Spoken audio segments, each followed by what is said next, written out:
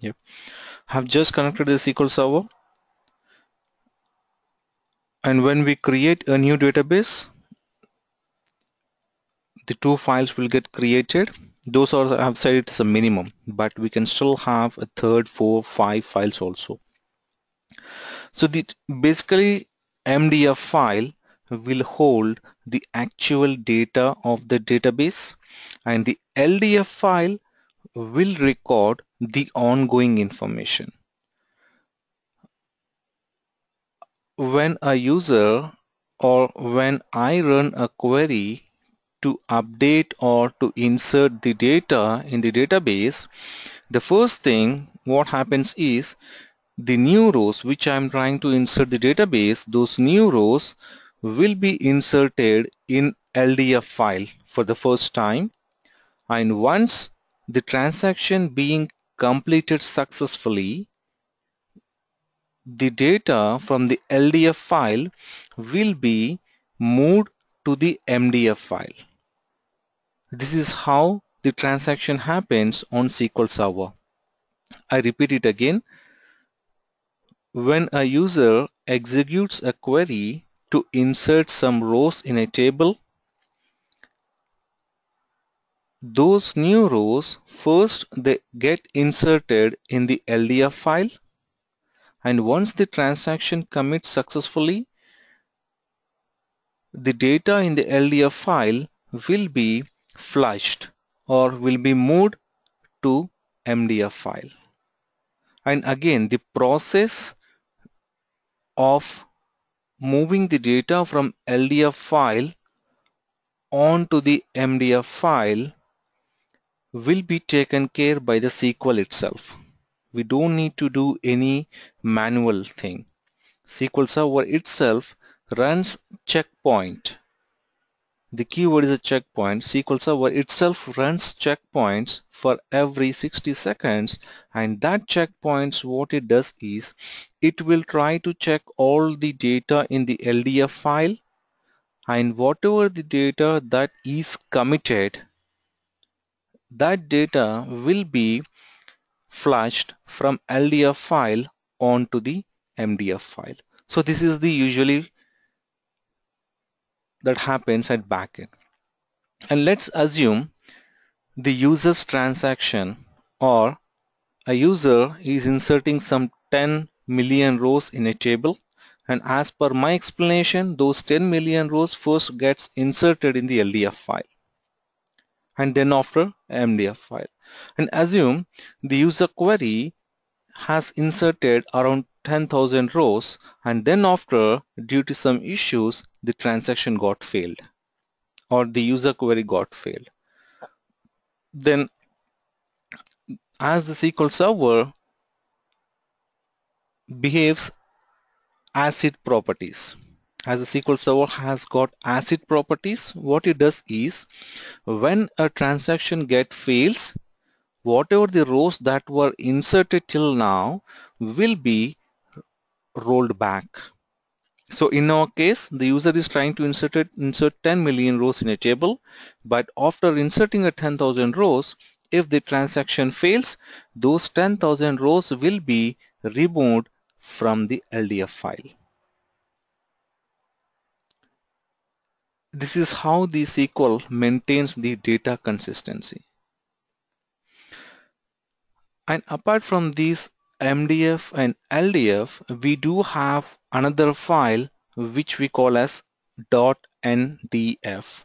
So the, fir the first we know about these two files .mdf and .ndf and apart sorry it's .ldf and apart from these two we can have another file which is .ndf and what is the requirement? And when do go, when do we go for .ndf and this .ndf the abbreviation is either you can call it as next data file or some of the people will call it as secondary data file so what is the requirement? When do we go for .ndf?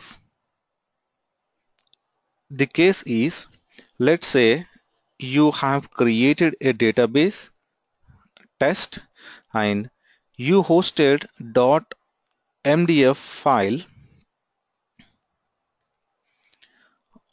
on M drive let's assume and then ldf file on L drive. This is the initial setup what you have done with the test database. Now later on the data is getting continuously loaded onto this database. And you you notice that the M drive is running out of space. So as users are using this database to load more and more data. At one point this drive is running out of space. So at this point what we do is as the MDF file is running out of space on the drive what happens? When a user comes and if he tries to insert new data the transaction will get failed. It is because there is no more space so to to expand the MDF file the user transaction will get failed and at some point the database might go into recovery pending. There are some chances. So to avoid this, once you get to know that my drive is running out of space, the next thing you can add a new file to the database that is called the NDF file. You can add the new NDF file and keep it on a different drive, maybe N drive. You may think that, okay, if my M drive is running out of space, can't I get my storage team to add more space on the drive? Yes, it is possible. But I'm talking that in a way where you don't have any option to either expand the M drive or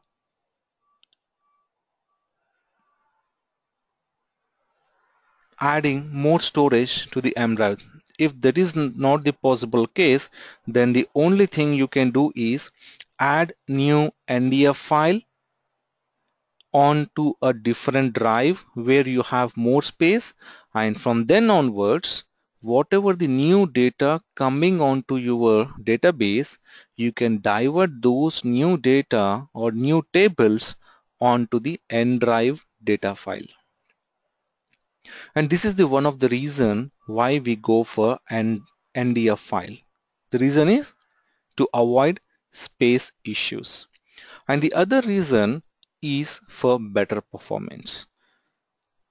I hope you got the reason why we go for NDF file. And one of the reason is space. But the other reason I'm saying is the performance. The simple example I give you if I share a notepad file sorry if I keep a notepad file on your C drive and I ask all the 10 people to browse that notepad file. And we obviously see that the notepad file either it get locked or blocked even if it responds it would be very slow because all the 10 people are accessing the same file on same drive. So instead of that I can copy that file onto a different drive and I can ask you to browse half of them onto C drive and half of them onto D drive. So there you can get a better performance because you are distributing the load on the drives. So in the same way, instead of keeping all the tables data in one MDF file in one drive, what we can do is we can distribute the tables across two files maybe 10 tables in MDF file and other 10 tables in .ndf file. And these two files are on different drives. Then people who are accessing a tables that resides on NDF file will get a better performance. And the same way, the people who are accessing the tables that resides on MDF file will have a better performance. Because both the request are going across the drives so there will be a better IO. So that is one of the reason why we go for NDF file. Any questions about the NDF file?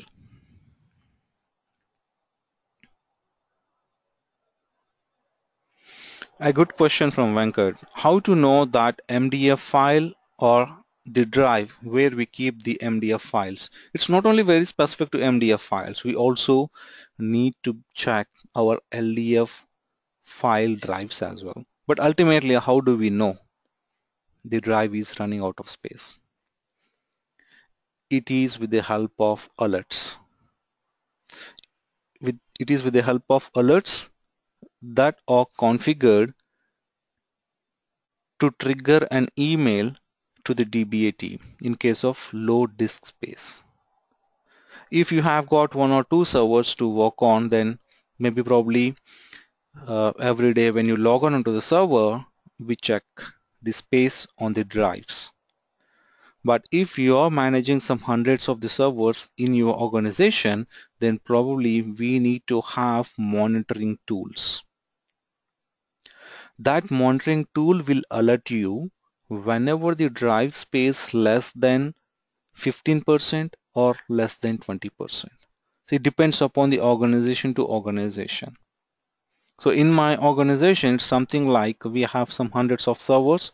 So whenever the free space on the drive falls below 15%, the tool, the monitoring tool, which is a Idera diagnostic manager, it gonna send an email to the DBA team.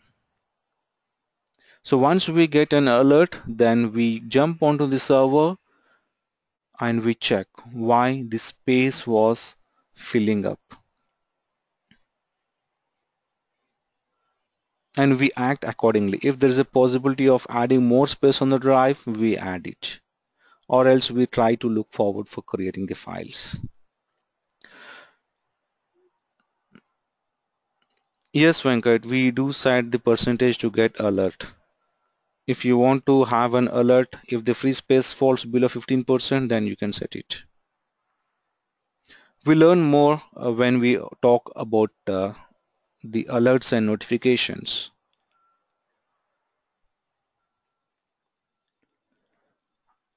I, I will show you in a, in, in a second how to create the NDF file. So in order to create the NDF file, as of now, you know that have a sample DB and this sample DB has got two data, sorry, two files. One is MDF and the other is LDF. This is a MDF and this is a LDF. So before I go and create the NDF file, let us try to make ourselves comfortable with the options listing out here. So the first is the the first column is a logical names. What are what are the what are the file names we are talking till now about those are physical files dot .mdf files and dot .ldf files those are physically present on the drives but these are logical names that really required for the SQL to identify your database. So these are the logical names of the database files and then this is a file type. The rows data indicates that is either dot .mdf file or dot .ndf file where the data really host. And the second is the log, the file type log. It is for LDF file and then the third column is about the file group as it sounds we can group set of files. Assume I have a very complex and large database where I got one MDF and one LDF that is mandatory. And apart from this I have got 10 NDF files. I have got 10 NDF files. And in those 10 NDF files I am storing the data in such a way that all the students information will be stored in one data file that is in one NDF file and all the employees information in second NDF file and all the uh, maybe orders information on the third NDF file. So it's nothing but just I'm grouping. I'm trying to make the similar I'm trying to keep the similar data in one file so to make that way we have to create a file group so in order to create a file group you you can see on left hand side we have a file groups you can just click on it and by default we'll be having only one file group and that is a primary file group where the MDF file resides on it. So if you want to create a new MDF file on and use it on a different drive, the first thing we need to create a file group so that we can we can ask the SQL Server to move the table whenever you create a new one. When you create a new table, how do you define that the table should either go onto the MDF file or NDF file. It can be done with the help of file groups. So in order to create a new file group, in this, in this window you see an add button. You can just click on add and just give the name for the NDF file. That is a name for the file group. So I just give it as a secondary and the second column is the files how many files you want to group in this file group so as of now I haven't created any new file so I leave it at zero. And the next column is read only. If you click this read only option then your file group will become read only. And uh, I don't think you really need this option at this moment but in complex environments and situations we make it read only. But I, I, will I will explain this when we are in topic of backups and restores. But now it's not required and the next and the last one is a default you can see now the primary file group is set as default what it indicates it indicates when I create a new table by default that table will be created in primary file group. So when I say primary file group, if you go back here, the primary file group is this one. That means it gets created on this MDF file. But the situation is the drive is running out of space the drive where this MDF file exists is running out of space. So I don't want to create any new tables on this MDF file. So in that case, as we have already created a secondary file group, now in this place, you see a add button, just click on add and provide a new logical name, what you want to call it. So I say sample new file and then after all, you can see the row types it automatically picks off row data saying that this is a data file. It might be a master data file or a new data file but ultimately it is a data file. And then after the file group. You can you can click on the drop down and you can select the secondary file group. By selecting the secondary file group, what it indicates is we are matching the NDF file in secondary file group. So when we create a new table, we can define that, okay, this table should be created in secondary file group. We can write a syntax while we create a table. At bottom, we can give on which file group this table should go. So I will, I will show you in a second. So I'm mapping this new file in secondary file group and I would change can we give the same name for NDF file as an LDF file? if it is a logical name, no. The name should be different. So I would like to change the path because I don't want to keep the NDF file on C drive. So I select it as a D drive.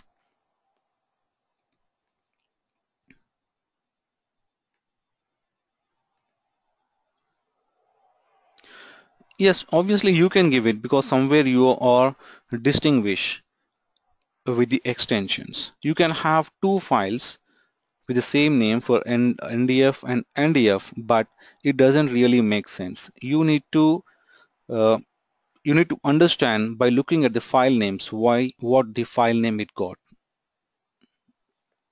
So I can still go for sample db underscore ndf but it doesn't make sense. If you look if you jump onto your server most of the times the extensions will not be shown. The file extensions will be automatically hidden. So in that case it makes you confuse whether this is a MDF file or NDF file until you look at the description of the column of that file. So it is always good to make yourself life easy so that it's sample db new then it's ndf so once you define this way you can just click on ok so now for this file we have got three files one MDF, LDF and the third is the NDF. So you can go and check the file on D drive now. You can see a new NDF file has been created. Now how should I move the new table onto a NDF file? One way is if you go to the properties of this database and then file groups, we have an option called default. When the primary set is default, then when whenever a user creates a table, I'm just writing a sample table script.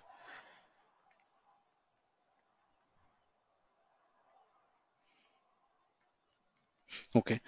I'm creating a table which is tbl underscore test with one column that is id with an integer value. If I execute the script now it gonna create on my primary file group by default. It is because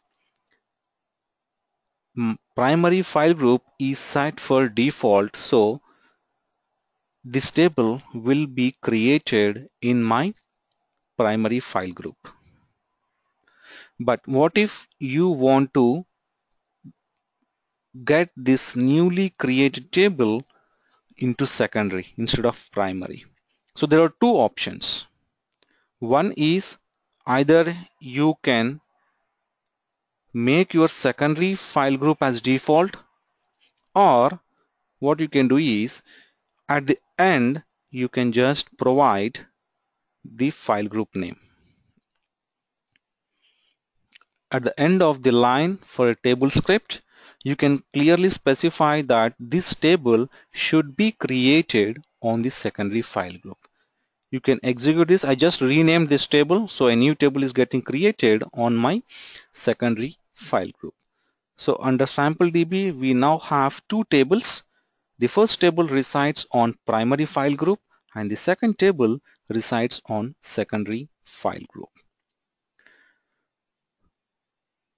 So any questions about the file groups?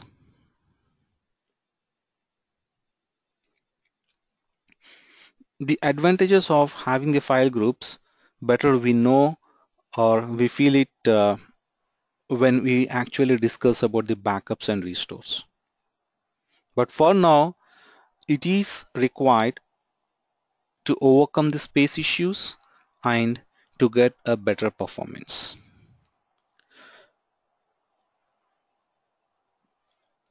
Until now we came to a position that the data will be stored in MDF and LDF files. Okay. Now we go a bit in depth. Inside the MDF and LDF files, how the table data will be stored. Inside the MDF, LDF or NDF files, how the data will be stored. The answer is the data will be stored in the form of pages.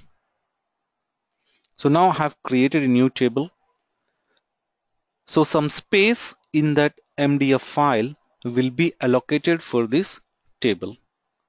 When I say some space, it's nothing but the page. So the data in the files will be stored in the form of pages and each page will be of size 8 KB.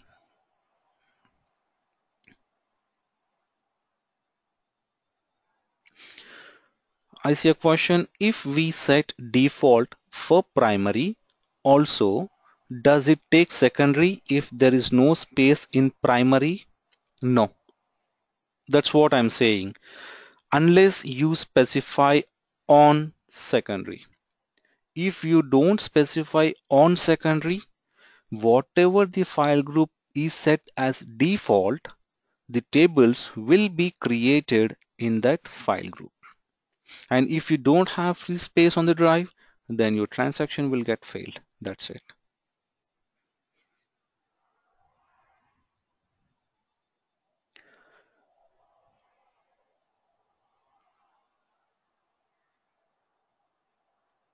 and I see a question from Navnita. Uh, Navnita, I request you to, uh, if you have any questions, please uh, ping it uh, openly so that uh, everyone can look at your question.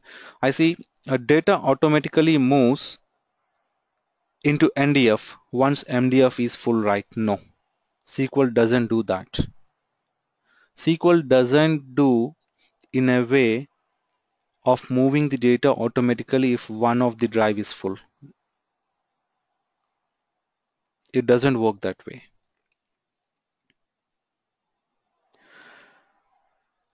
So the data inside the MDF file or NDF file will be stored in the form of pages.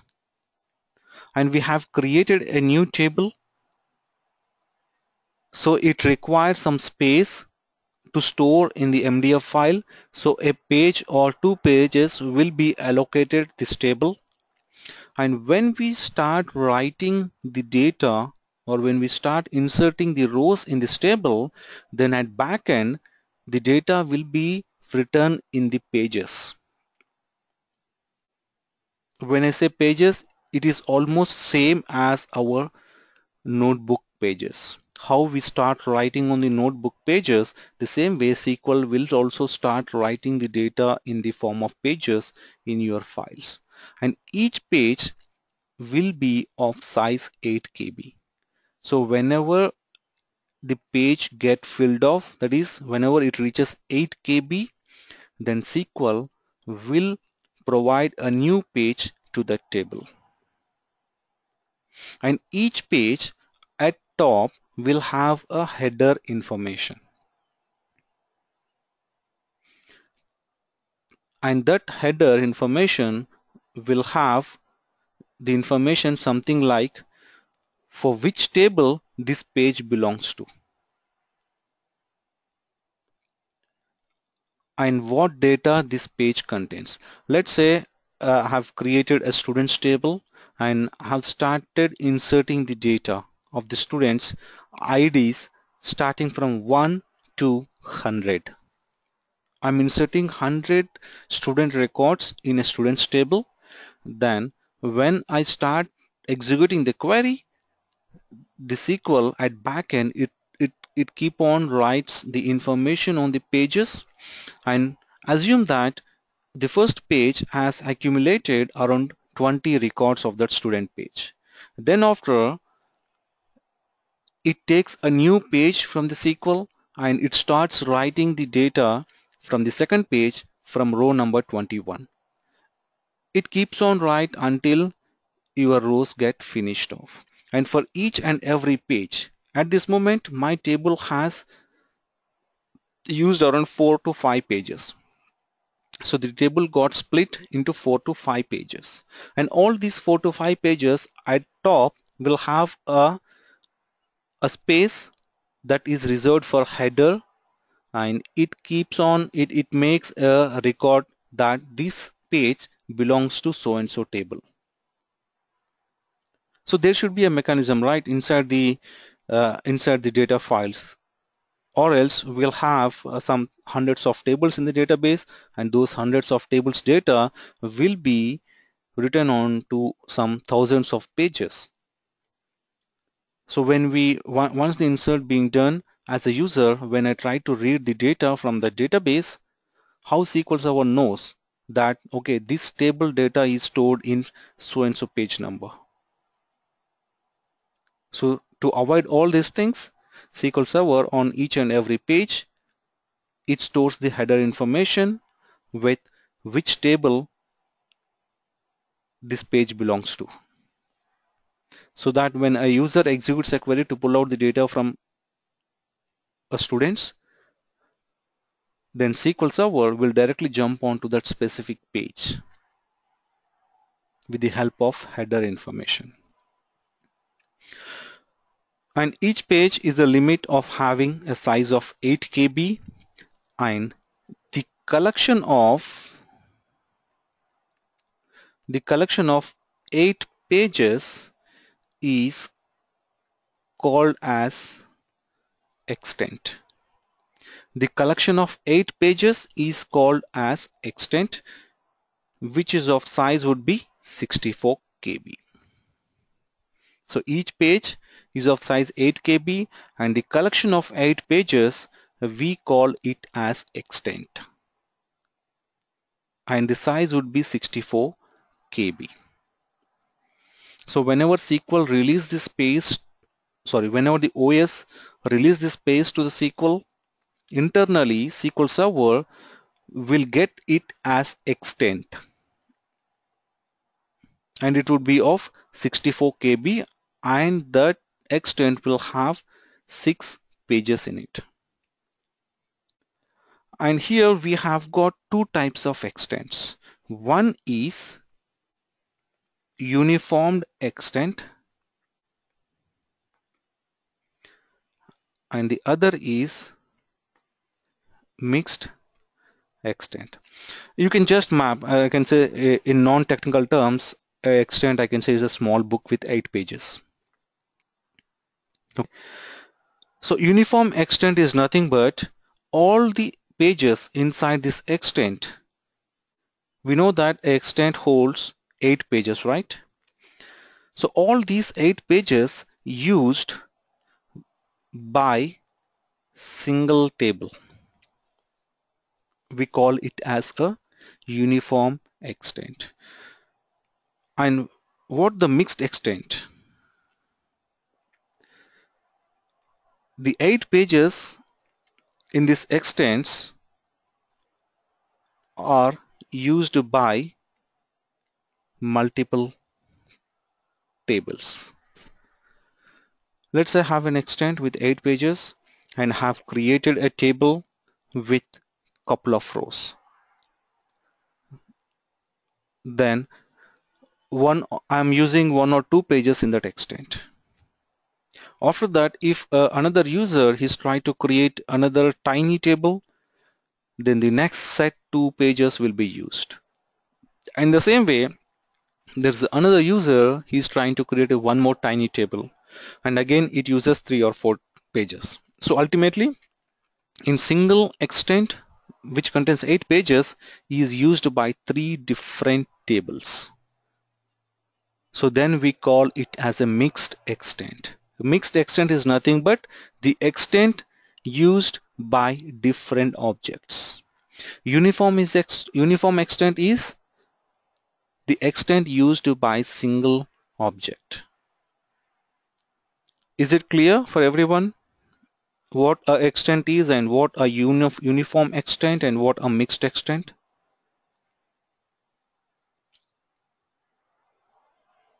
Yeah.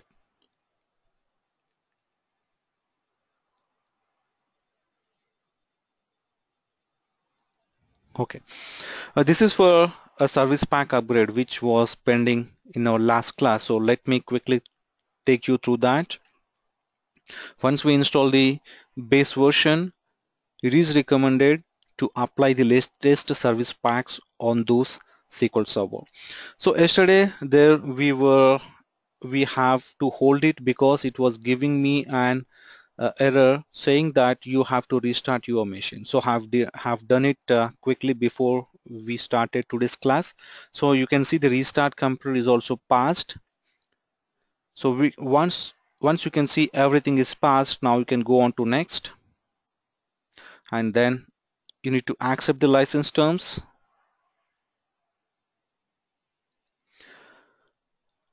and you can see the list of instances for which you want to apply service packs. Let's assume uh, you have got four instances running on this machine. You can still apply service pack to all four instances at one point. As of now I have got only one instance running on this machine so it's giving only one instance. If I had installed two or three instances then it would have listed out at the bottom and I can just select those two or three instances here and I can apply the service pack in one go. And if you don't want to have maybe probably your requirement is apply the service pack only on one instance and don't apply on other instances then you can just uncheck the other two instances here and go further. It's pretty much simple the service pack upgradation. And this is the way we usually do on standalone servers. But for in clustered servers the process would be different. But uh, before we discuss more about these applying the service packs and cluster we need to know what a cluster mean so I will hold until we discuss a topic of clustering. So this is a place where it checks the files in use. It says the management studio is open and it need to be closed before this service pack being applied. So it clearly says the ssms.exe process is not controlled by the update wizard. You have to manually stop this process to avoid a computer restart. It's not a showstopper for you. You can still go with next, but the only thing is you need to restart your machine once you apply service pack. So I don't want to restart the machine again when we are on class. So There's a question from Venkat. Is the latest service pack includes all the previous SPs? Yes. If you remember, I mean, if you notice here on top, it's SQL Server 2012 Service Pack 2. That is, I am applying Service Pack 2. So what it holds is all the fixes and everything from the Service Pack 1 as well. So you don't need to apply service pack 1 and then come then come on to service pack 2. It's not required. You can you can always jump and apply the latest service pack. If I had service pack 3 or 4 for this version then I would have applied the 4 or 3 which is the latest one.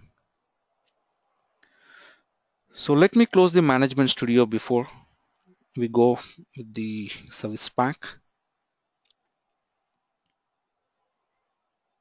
Can exit it. If you want you can save the queries or else you can just click on no. Now refresh the check. And it still says the process is running. It could be probably at backend the management studio application is up and running. Let me do yeah it's somewhere getting open. I'm not sure how it got open. So let me do a refresh again.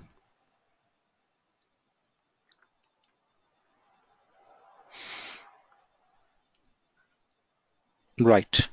So I don't have any other applications that is holding for this service pack. So now I can go with the next. And you directly came to a summary now. You do if you if you just compare the things we haven't provided any of our input. It's it's pretty straightforward for applying a service pack.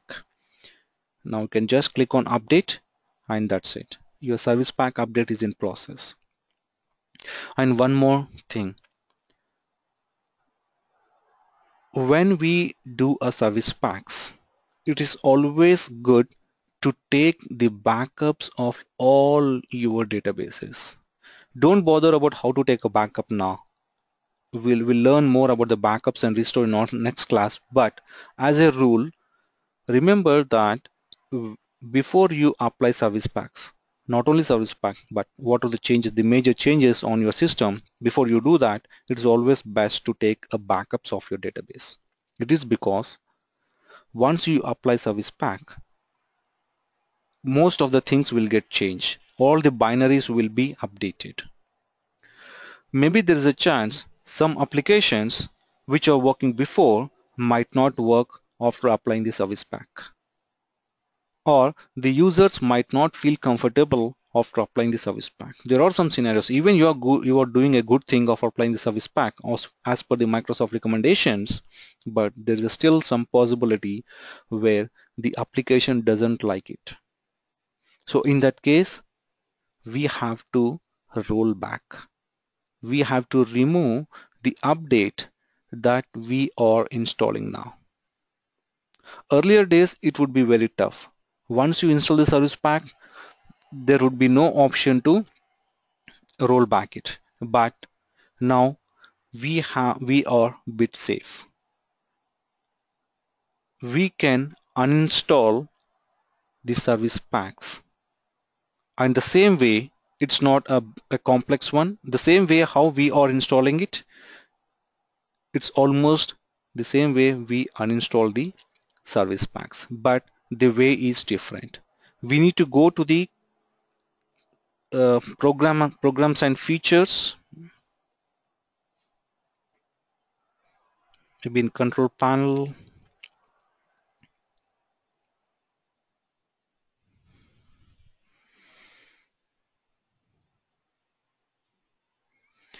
and then you see programs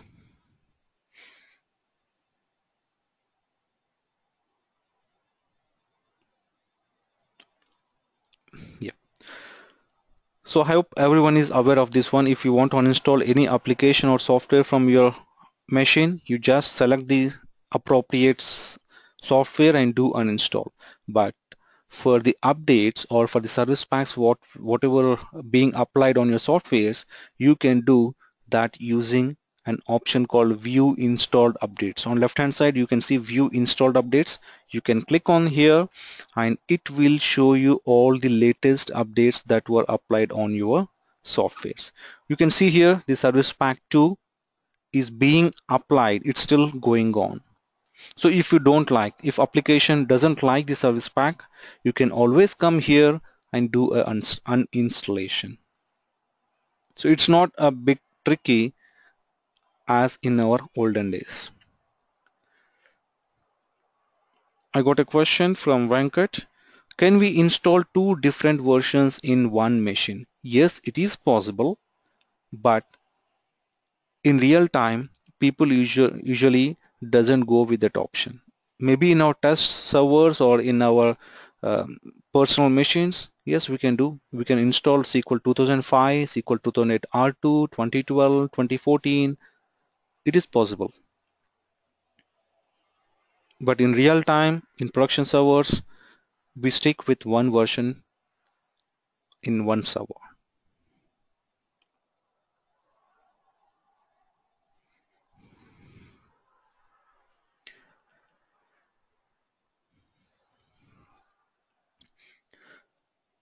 Hey guys, th this is the picture how it looks like for the extent. So this is a, a sorry this is a page. I hope you can see my screen. So this is the page. In each and every page inside the data file the first will be the page header that will that where it reserves some space on the page. It, it note down the table information. And if it has got any other links it, it write over there.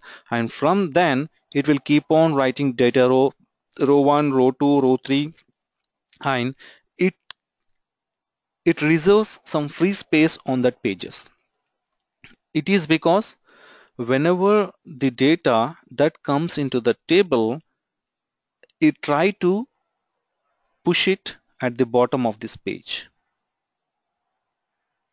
I can give an example why the free space has been left reserved in each and every page. Let's say I'm creating students table with 10 records and assume this student table with 10 records were written into two pages and two pages were 100% used. Then after uh, other other users have created some 10 to 15 tables so the first page 1, page 2 were used by students and then after page 3 to page 20 used by other user tables and later I came back and have inserted two rows in my students table. Then those two rows will be written in page number 22 and 23. Hope you are following me. When I create the table for the first time, the data will be stored in page 1 and page 2 and later other users were created some tables. So the next pages were reserved. And when I come back on the next day or sometime later and inserted couple of rows those two rows will be written on page number 22 and 23 so here my my table students was used different pages and they are located at different locations. The data for the students were written into page 1, page 2 and then page 21. So whenever I try to read data from that table, SQL has to read page 1, page 2 and then it has to scan and all the pages to find out where are the next rows. So to avoid this thing, we always try to keep some buffer space in each and every page. So instead of filling out 100% on each and every page, what we do is we'll fill out 80% and then we go on to next page. So in that case, possibly we, we can't restrict all the time, but in this case, when I insert a two new rows in the table, at least as we have got a free space on page 1 and page 2, it somewhere accumulate the space in those two pages. And the next is a mixed extent and uniform extent. Mixed extent is something that a single extent is used by different objects. You can see here this extent has got table 2, table 3 and indexes. And uniform extent is nothing but it is used by single table. You can see all the pages in this extent being used by table 1. Yeah and we are in the meantime we are done with the service pack upgrade here. So just ensure everything being succeeded and you can close this. And now you can go back and open the management studio.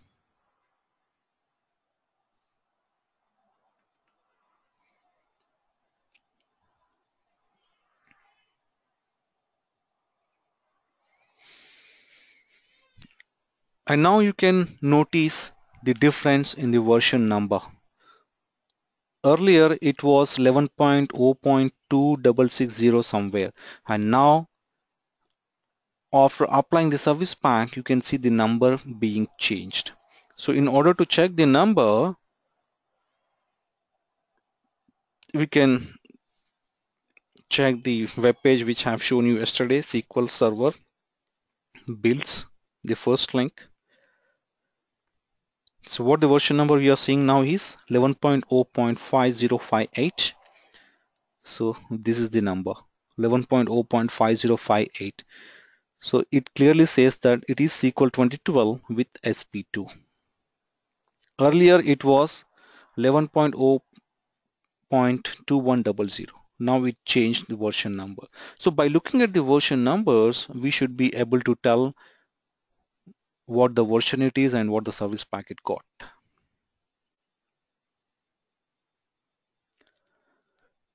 And we have also discussed the reasons why we choose for creating a new data file. and we also saw how to create a new database. The one way of creating a new database is the scripting. Write a simple command saying select, sorry, create database database name. And the other way is using GUI. You can right click on the database and select new database. And you can just provide the database name here. I can say HDFC or HSBC. And here we are a bit familiar with the logical name, file type and file group. And the next is the initial size. What is the initial size for your MDF file? It is 4 MB. When, when at the back end, the data files get created, right? The MDF and LDF files.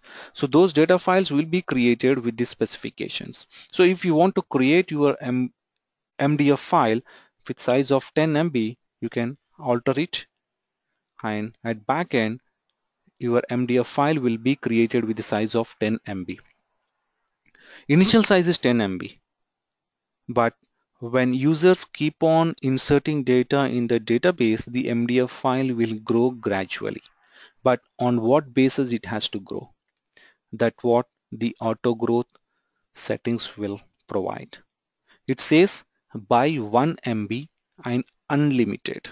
That means whenever my MDF file reaches 10 MB, whenever it gets full, we are just reserving 10 MB for my MDF file.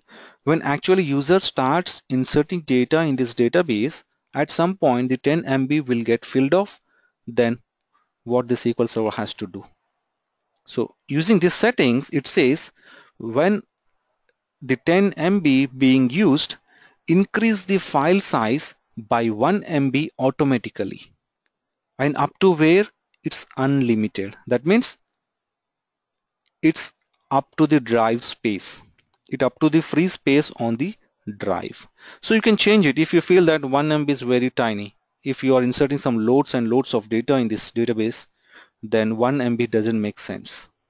So you can change it to either percent or you can change it to from 1 MB to 10 MB. And most of the time we won't restrict any of the sizes. It says unlimited, that means your files can grow unlimited. If you restrict it, if you say, no, I want to limit my file maybe to 100, 100 MB, then once it reaches once the MDF file reaches 100 MB then your transactions will get failed.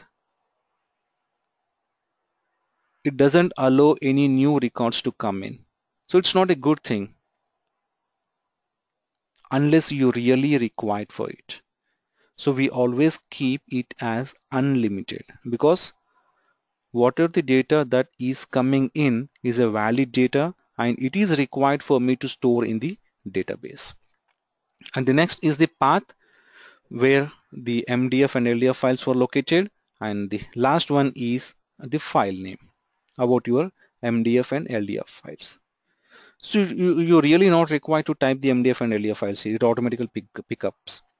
So I just provided the HSBC database name and on left hand side guys I would finish within within couple of minutes now.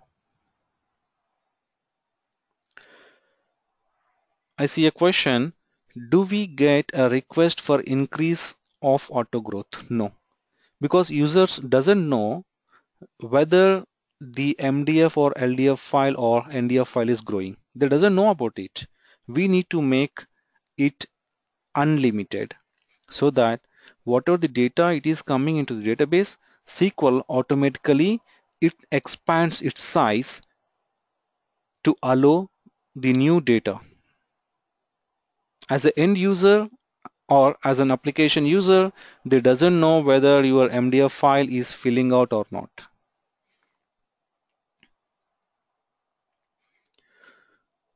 So these are all the objectives and again how these all objectives picked up. I just said create new database and have provided the HDFC HSBC name. I haven't provided any of these paths anything here I just provided the name and you can see automatically all these options true false true false and simple checksum everything being selected here so do you remember how it got all this information. I close and reopen it again.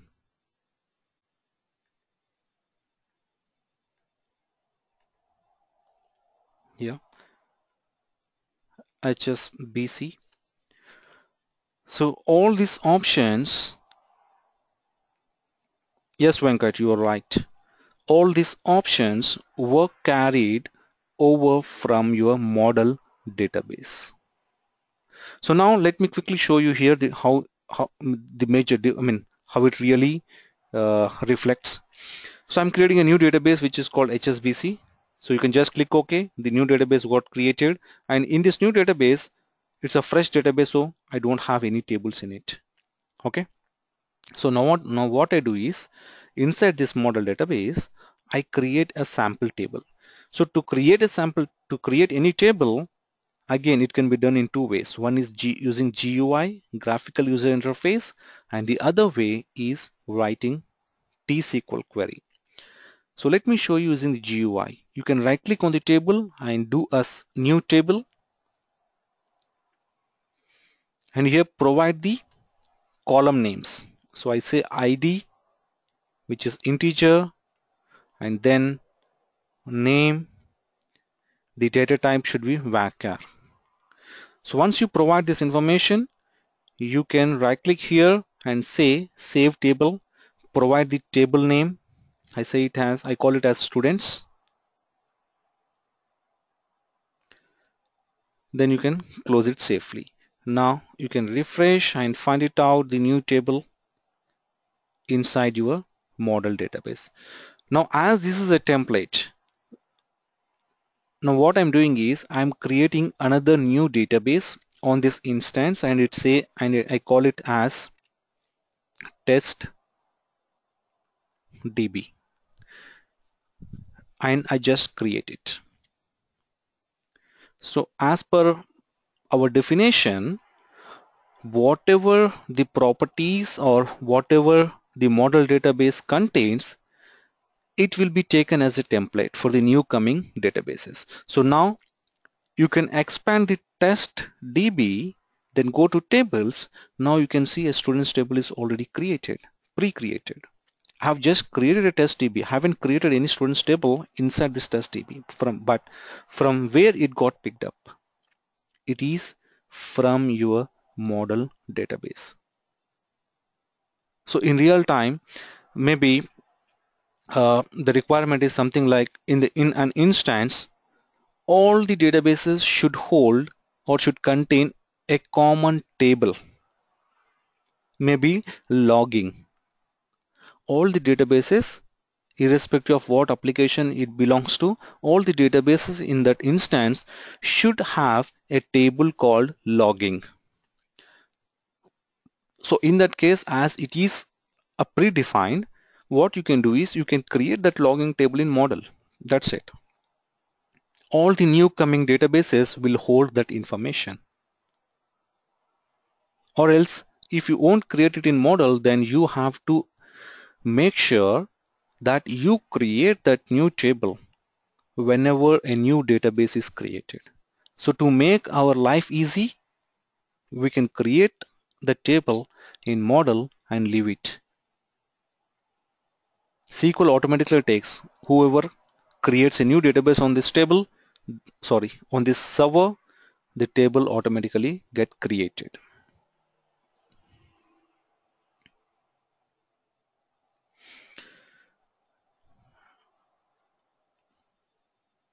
and we have seen about the file groups and uh, the properties I will just finish off by explaining this one whatever the properties we are seeing here by right click on the database and going to properties the same thing can be done with a command called sp underscore helpdb using this sp underscore helpdb if you just execute this it will give you the basic properties of all the databases on that instance.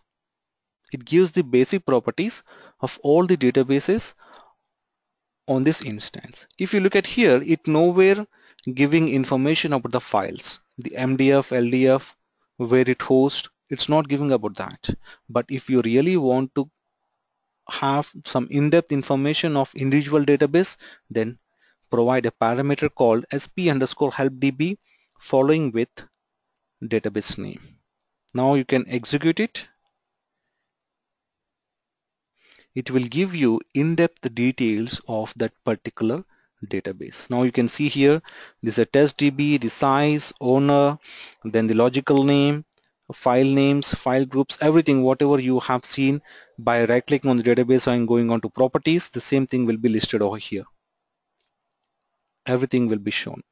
So you can use some basic commands help db, sp underscore help db following with database name will give you the properties of the database.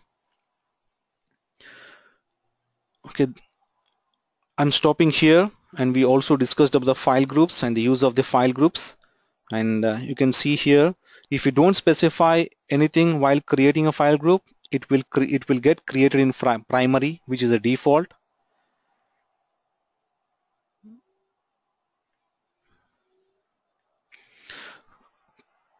Question from Venkat. Can I install SQL Server in other machine using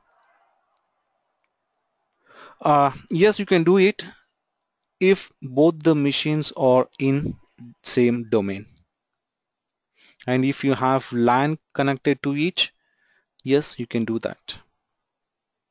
That's what in in real time in organizations we usually work remotely. We can sit on one server and we can browse the data from a different server.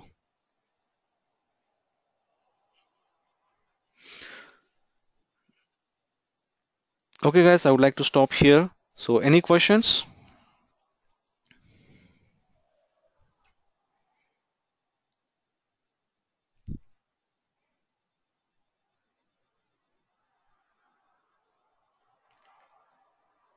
Nitin Venkat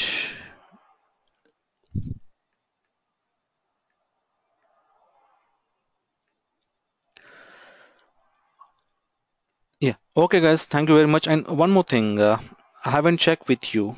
Have you installed SQL on your machine?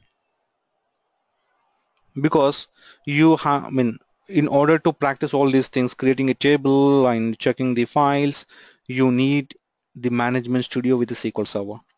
And please make sure that you do two installations. One, the default installation, and uh, once you're done with that, run the setup file again and the only change you have to give is the instead of default instance select named instance and give some name. And you can proceed with installation. So please make sure that you have installed two instances. Uh, Navnita my server agent is not installed. It should not be the case. If the installation is done then you would get uh, two things database engine service and the agent service. And I can understand you your issue. You might have uh, you might have uh, used express edition. Instead of evaluation edition you might have used express edition. In express edition we only get database engine service and not the agent service. So could you please check what edition you are using and try to download the edition which I have uh, provided you, the Enterprise Evaluation Edition.